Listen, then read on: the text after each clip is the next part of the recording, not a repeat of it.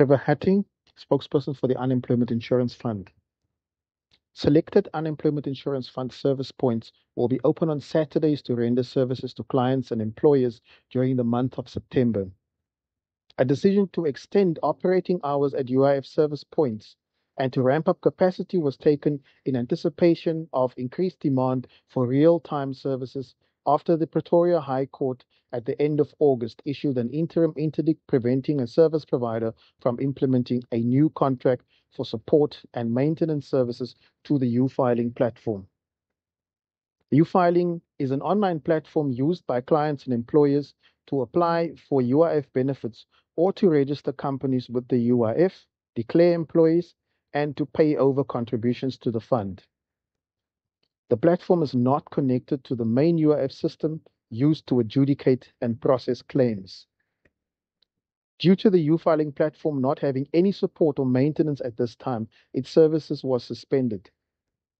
The Unemployment Insurance Fund has since the suspension of the uFiling platform processed more than 181,000 claims at service points around the country.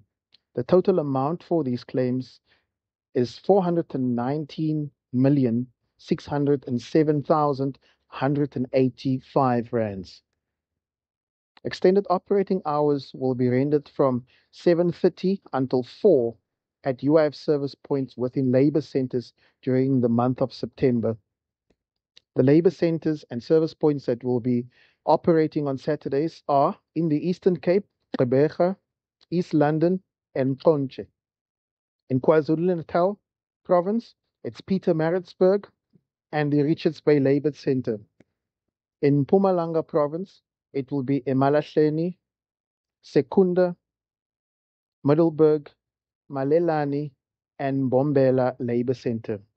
In Northwest Province, it would be Mahikeng, Potchefstroom, Lichtenburg, Klerksdorp, Vryburg, Christiana, Brits, Taung, and the Rustenburg Labour Centre. In the Western Cape, it will be Cape Town, Paarl, Mitchell's Plain, as well as the Bellville Labour Centre that would be operating on Saturdays. Through queue management, monitoring of operations, and staff repurposing, the UIF has been able to adequately handle claim volumes around the country.